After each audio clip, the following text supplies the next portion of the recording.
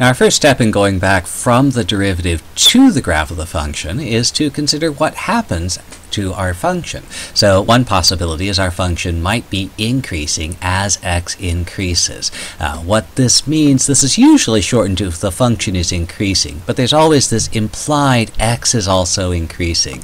If I substitute in a larger value of x, I should get a larger value of f of x. Uh, so uh, the first idea to keep in mind is that this concept of function increasing is an algebraic concept. The larger the x value, the larger the function value. This translates into a geometric appearance as follows. If I consider the graph of y equals f of x, if x increases, we're moving left to right.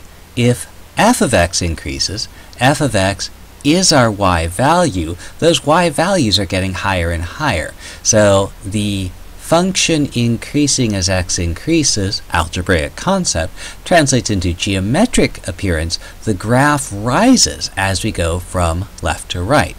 Minor point of syntax. Uh, we don't and should never say that the graph increases. That gives us the totally wrong impression that maybe the graph is getting larger and it's going to go from something this size to something much larger. Uh, what we actually should say is the graph rises as we go from left to right, or again, we can leave the direction of travel as understood. So we are always assuming we're talking about going from left to right on the graph or as x increases on the function.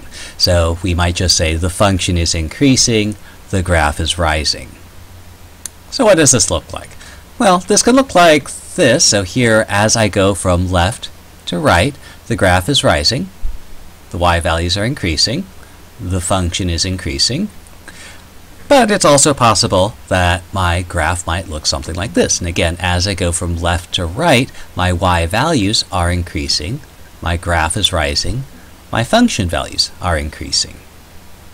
Well, what does this have to do with the derivative? Well, the derivative is the slope of the line tangent to the graph. So let's go ahead and draw those tangent lines at some point on the graph, well, here for example, and if I look at those tangent lines, those tangent lines have a positive slope. And since the derivative is the slope of the line tangent to the graph, we can make the following conclusion. If the derivative is positive, if at some point the derivative is positive, then the function is increasing at that point. So again, function is increasing is an algebraic concept. The larger the value of x, the larger the value of the function. So whatever it is at x equals a, at x equals a plus a little bit, my function is going to be even larger. So there's my algebraic concept. The corresponding geometric concept is derivative is slope of the tangent line, so the graph is actually rising at x equals a. Now, we usually say it's rising at x equals a. Uh, a better way that you might look at it in terms of how we are moving left to right on our graph, you might think about it as the graph is rising through x equals a. So it's going through x equals a and continuing to get higher. I go through x equals a, I go through that point, and the graph continues to rise.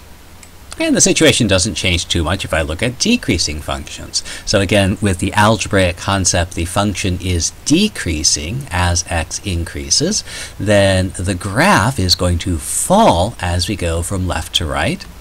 And again, it might look like this or it might look like that. And in both cases, as I move from left to right, the graph is falling. As I move from left to right, the graph, the y values are decreasing. Sorry, the graph is falling, the y values are decreasing, and the function is decreasing. And my tangent lines, again, look like this. And the slope is negative, so that gives us a corresponding result. If the derivative at some point is negative, then algebraically the function is decreasing at that point, and then geometrically the graph is falling at, or again, through x equals a. So as I pass through the point, the graph continues to fall. As I pass through the point, the graph continues to fall.